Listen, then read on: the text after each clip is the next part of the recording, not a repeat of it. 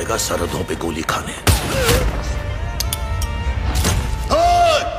ये कहानी मैंने शुरू की थी तो खत्म भी मैं ही करूँगा।